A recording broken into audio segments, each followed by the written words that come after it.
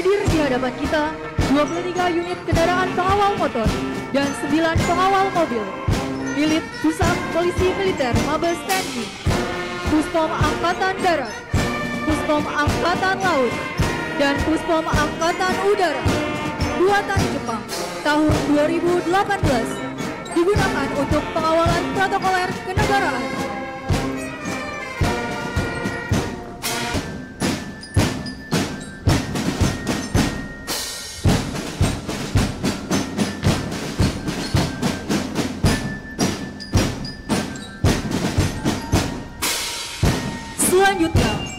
Di hadapan kita, dua unit P6 Ataf milik Kopassus dan satu unit Ataf milik Brigif 1 PAM Ibu Kota. Merupakan kendaraan khusus segala medan dengan dipesanjai kesehatan mesin kaliber 7,62 mm. Selanjutnya, 9 unit Maung merupakan produksi anak bangsa dari PT Pindad tahun 2023 sebagai kendaraan angkut personil. Selanjutnya, satu unit LC Jungle milik Satuan Kopassus. Berikutnya, satu unit PGD LC adalah kendaraan khusus pertempuran jarak dekat milik Satuan Kopassus.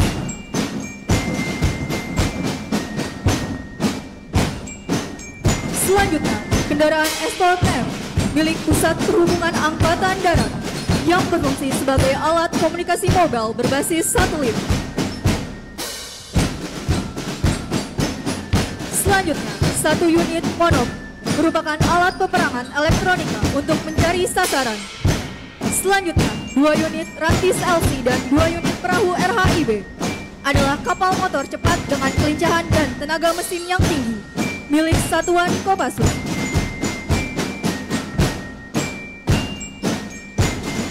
Selanjutnya, satu unit rantis tangga adalah sebuah kendaraan khusus yang dapat membantu pasukan khusus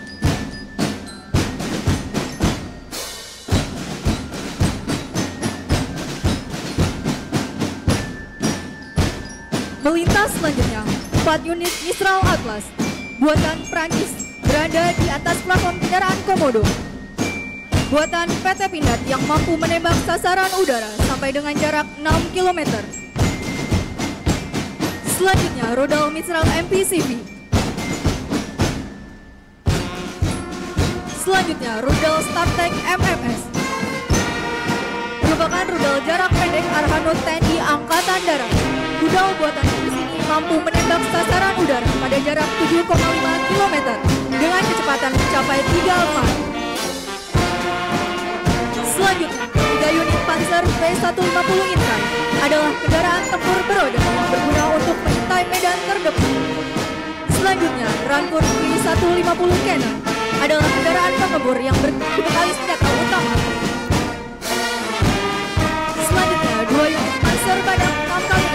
Satuan Kopi Kapolri 1 Kostro. Berikutnya, dua unit Anoa 6 kali 6 ambulans merupakan varian Anoa yang diperuntukkan bagi petugas medis. Melintas selanjutnya, tiga unit Panzer Anoa 6 kali 6 Komando buatan PT Pindad yang memiliki fungsi sebagai kendaraan lapis baja untuk angkut unsur komandan. Selanjutnya, Anoa Morse merupakan varian Anoa yang dilengkapi dengan pelontar mortir.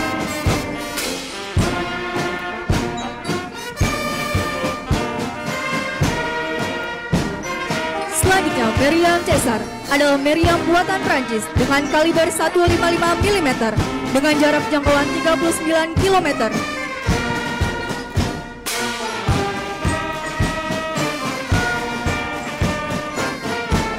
Selanjutnya, dua unit Spider Excavator adalah salah satu alat berat khusus yang dimiliki oleh Zeni Konstruksi Angkatan Darat.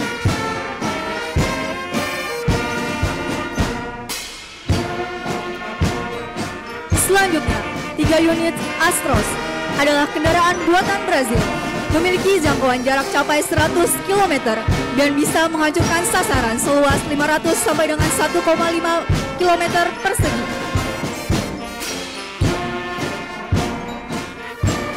Melintas berikutnya, dua unit MP3, satu amphibious Photon, merupakan kendaraan yang dapat berfungsi sebagai jembatan yang mampu menahan beban seberat 85 ton. Selanjutnya, satu unit Tatra Volt merupakan kendaraan angkut karpet baja yang terbuat dari panel aluminium.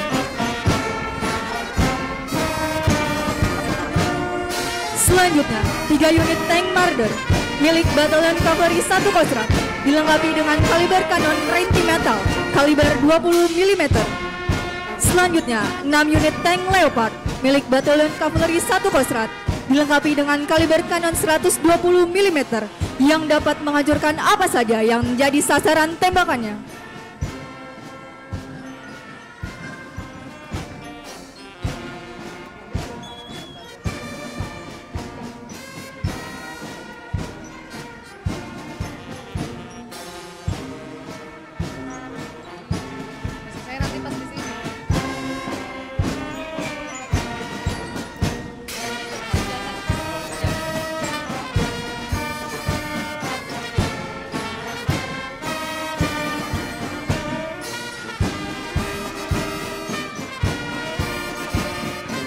Hadirin yang berbahagia, sesaat lagi akan kita saksikan defile alutsista TNI Angkatan Laut. Merupakan gabungan dari kekuatan sistem senjata armada terpadu yang terdiri dari kekuatan pasukan KRI, pesawat udara, marinir dan pangkalan yang dipimpin oleh Komandan Gugus Tempur Laut Koarmada 1, Laksamana Pertama TNI Muhammad Taufik MMDS yang terdiri dari kendaraan tatrapan dibuat pada tahun 2015 dan masuk ke Indonesia pada tahun 2016 Selanjutnya melintas di hadapan kita rudal Yakon buatan Rusia mampu mencapai target hingga 400 km. Di belakangnya rudal Harpoon buatan Amerika Serikat mampu mencapai target hingga 240 km. Berikutnya torpedo SAT buatan Jerman dengan jarak jangkau 80 km. Di sebelahnya torpedo Stingas buatan Rusia. Selanjutnya rudal Exocet MM38 buatan Perancis. Berikutnya torpedo MK44 dan torpedo MK46. Selanjutnya rudal C705 buatan Cina. Berikutnya rudal C802 buatan Cina mampu mencapai sasaran hingga 180 km. Berikutnya rudal Siket buatan Inggris, rudal Mistral buatan Perancis dan rudal Strela buatan Rusia. Selanjutnya rudal VL Mika buatan Perancis. Berikutnya rudal Exocet MM40 Blok 3 buatan Perancis mampu mencapai target hingga 250 km. Selanjutnya, kendaraan jenis flyer produksi dalam negeri tahun 2001 membawa 5 personil Kopaska untuk operasi urban warfare. Selanjutnya, Seal Carrier merupakan kapal selam ini dengan 6 personil combat diver Kopaska. Submariner membawa 6 personil manusia katak yang siap melaksanakan sabotase bawah air. Berikutnya adalah dua unit swimboat yang membawa satu tim para scuba Kopaska satu unit Sea Rider membawa satu tim Kopaska dalam operasi VBSS atau Visit Port Search and Seizure.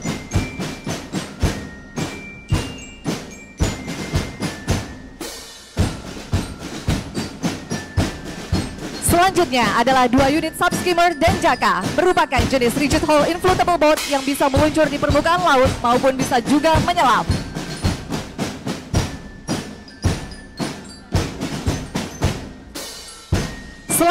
Berikutnya, 6 unit Kia Strela yang dilengkapi dengan rudal AL Strela 1. Berikutnya, 2 unit kendaraan Digital Direction Fender 550. Digital Direction Fender 550 merupakan kendaraan komunikasi dan elektronika. Selanjutnya, dua unit mobil Hyperbaric Chamber dan satu unit EOD atau Explosive Ordnance Disposal yang merupakan kendaraan untuk merecovery para penyelam. Berikutnya, 6 unit Roomkit Lab masuk di jajaran Korps Marinir tahun 2023 mendukung kesehatan pada saat latihan, operasi penanggulangan bencana, dan lain-lain.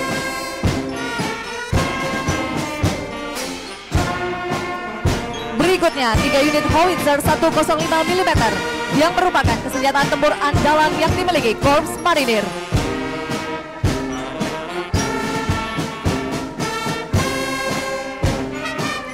Selanjutnya melintas dua unit aligator yang masuk di Indonesia pada tahun 2016. Melintas selanjutnya dua unit MRLS Vampire, dua unit RM70 Grade, dan dua unit Norinco.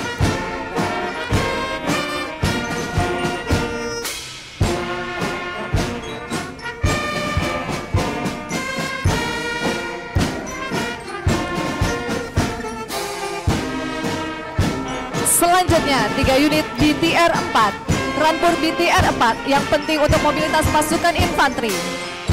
Melintas selanjutnya, 6 unit BMP 3F yang dibuat pada tahun 2010 merupakan kendaraan amfibi berlapis baja yang memperkuat kavaleri di jajaran Korps Marinir. Selanjutnya, 3 unit PT 76 dibuat pada tahun 1961.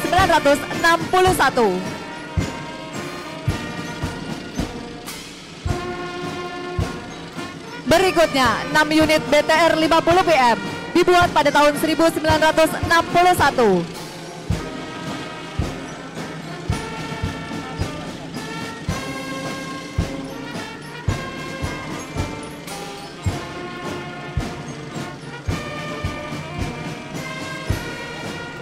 Mengikuti di belakangnya, 3 unit BVP dibuat pada tahun 1998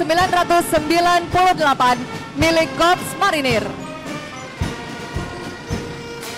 Selanjutnya, 4 unit LVT 7A1 yang dibuat pada tahun 1984. Marilah kita saksikan bersama alutsista TNI Angkatan Udara melintas di hadapan kita. Multi Role Combat Vehicle Comget merupakan platform kendaraan perang kota multifungsi. Berikutnya, kendaraan taktis serbu Altera Assault Tehal B6 atap buatan Indonesia. Selanjutnya, Indonesia Light Strike Vehicle dan P2 Komando, kendaraan khusus serbuan penyelamatan dan escape. P2 Tiger dan EPC Turangga digunakan sebagai sarana serbuan cepat dan mobilitas dalam perang kota.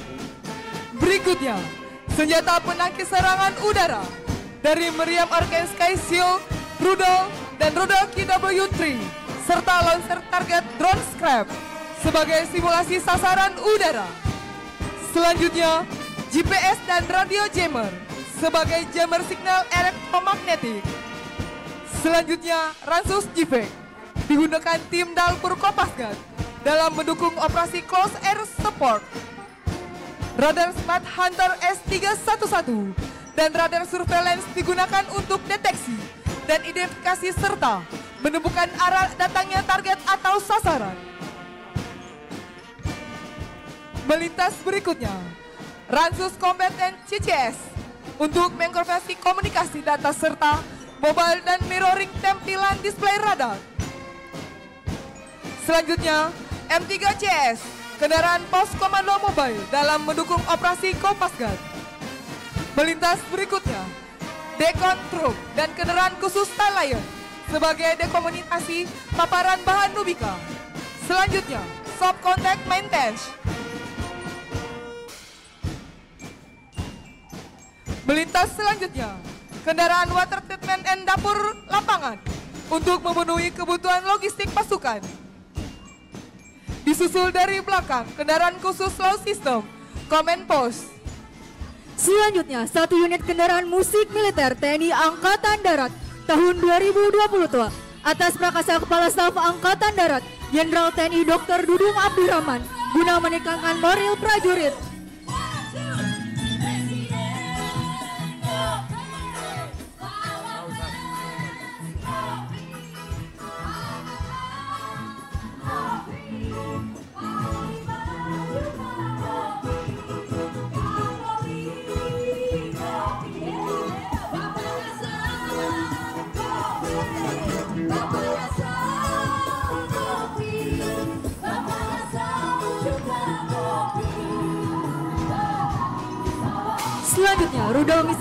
MVCV atau Multi Purpose Combat Vehicle. Selanjutnya, Ranpur V150 Cannon adalah kendaraan pengebur yang dibekali persenjataan utama. Selanjutnya, satu unit Astros mampu menjangkau jarak 100 km. Hadirin yang berbahagia, berikutnya melintas di hadapan kita rudal P15 Termit dengan jangkauan 90 km. Diikuti di belakangnya torpedo Black Shark dan torpedo A244S yang mampu mencapai sasaran hingga 90 km. Mengikuti selanjutnya rudal Exocet FM40 Blok 2 mampu mencapai sasaran hingga 140 km. Berikutnya 4 unit UAV Surveillance Bus Penerbal dan 2 unit Ganila yang dibuat di Indonesia dan memiliki tugas pokok memberikan dukungan logistik. Berikutnya 2 unit Sea Rider dan 1 unit BTR-4 merupakan kendaraan lapis baja modern yang penting untuk mobilitas pasukan infanteri. Selanjutnya, Ransus Bobcat, Ford EOD, P6 atau dan MIT RS merupakan kendaraan yang digunakan dalam berbagai misi, khusus di emban Kopasgat. Selanjutnya, Ransus Combat, ITS, dan Radar Smart Hunters S711 untuk mem-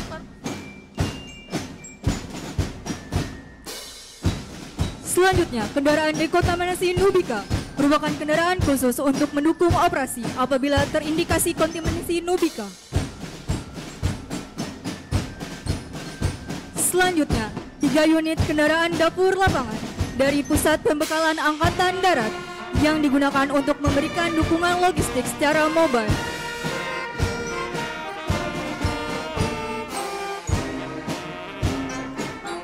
Melintas selanjutnya di hadapan kita, 5 unit drum kit lapangan dan kendaraan pendukung dari Yonkes 1 Kostrad guna mendukung kesehatan prajurit.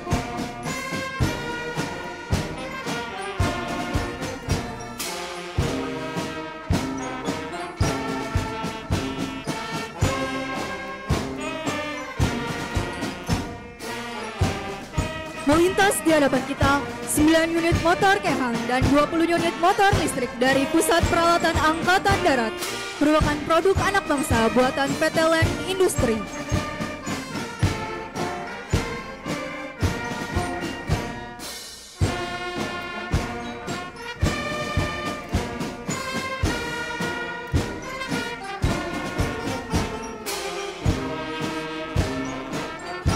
Melintas selanjutnya, 5 unit Panzer Anoa 6x6 angkut personil diproduksi oleh PT Pindad yang memiliki fungsi sebagai kendaraan lapis baja untuk angkut pasukan mendekati sasaran musuh.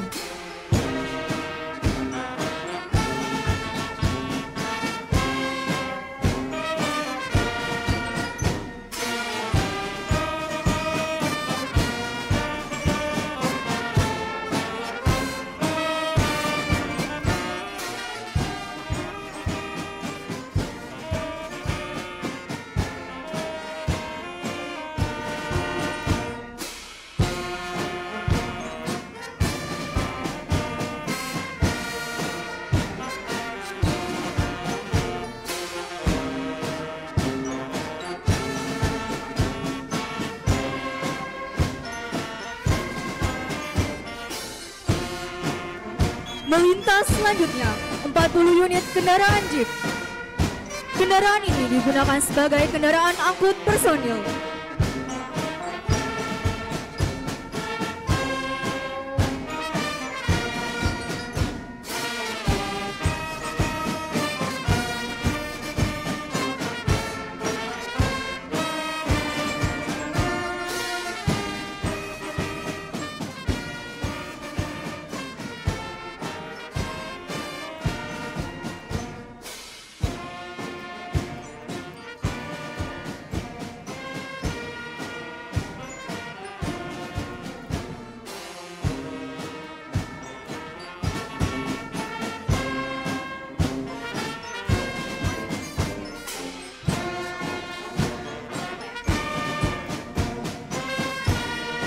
Hadirin dan tamu undangan yang berbahagia, mengakhiri defile material tempur alutsista TNI.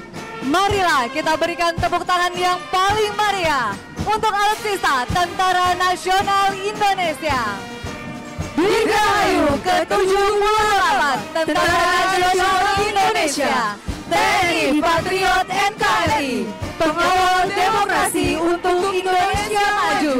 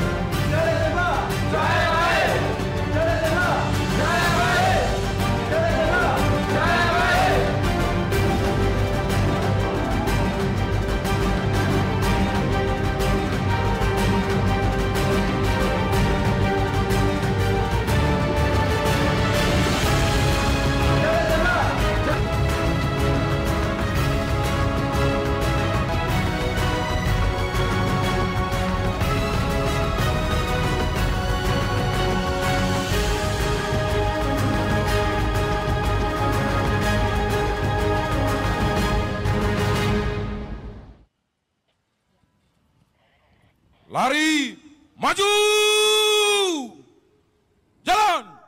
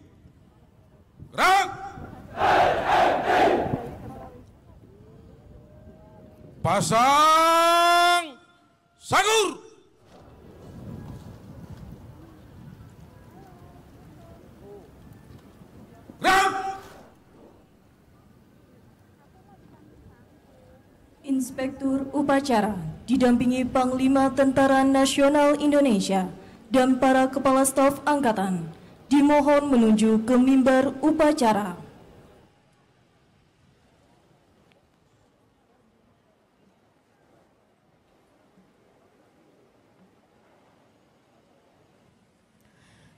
Laporan Komandan Defile kepada Inspektur Upacara.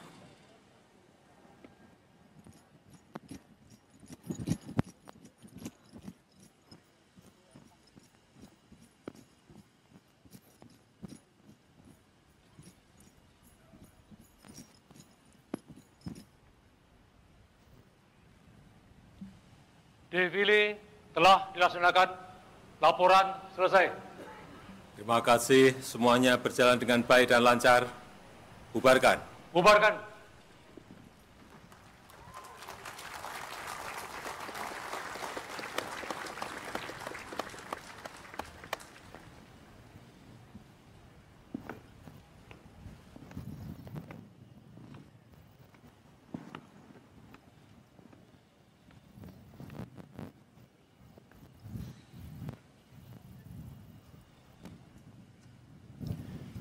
Undangan dimohon berdiri.